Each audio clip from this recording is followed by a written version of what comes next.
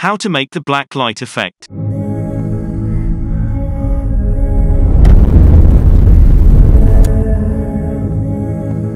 Today's video is obviously sponsored by Will Smith. Cut the part of the clip that you want to apply the effect. Right-click on it, make it a new Fusion clip, and open the Fusion page.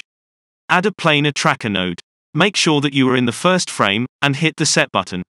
Change the tracker to Hybrid, and the motion type to Translation, Rotation, Scale. Draw a mask around the part that you want to add the glow effect. Once you finish the mask, hit the Track to End button. When the tracking is done, hit the Create Planar Transform button. Now that you have the planar transform, you don't need the planar tracker anymore. Just disconnect it from your pipeline.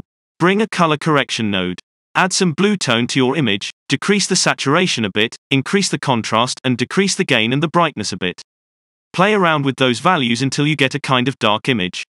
Add a merge node. Bring a polygon mask in empty space.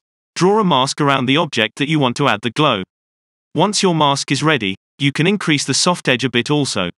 If you want to subtract a part of your mask, just add another polygon mask, draw on that part, and change the paint mode to subtract. I will do the same for the other part of the glasses also. When you are done with the mask, connect it to the yellow point of the planar transform. Bring a matte control node. Connect your clip to the yellow point, and the planar transform to the green point of the matte. Change the combine to combine alpha channel, and check the post multiply image box. Add a glow node after the matte control. Bring down the shine threshold.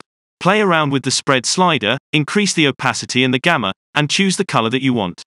Just tweak around those values to find out what works best for you.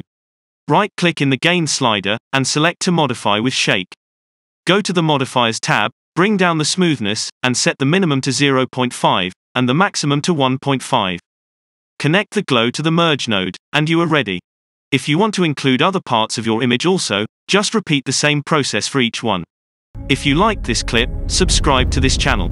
If you didn't,